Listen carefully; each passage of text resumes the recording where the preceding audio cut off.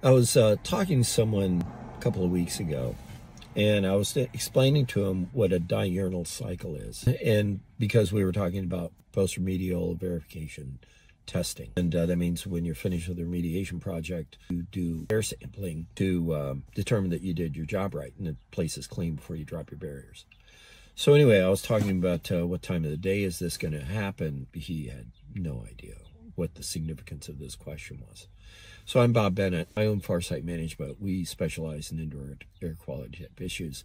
So what a diurnal cycle is, it, this is a cycle that happens every single day from morning to noon to evening. It's outside the home. It's in your normal background conditions. And molds that are natural occurring, they release spores at different times of the day and it's all depending on you know the moisture content of the dew when it hits the ground. And as the sun comes up it starts to get drier. And so some molds right at the crack of dawn they'll puff their spores. And then another set of molds is evaporating off.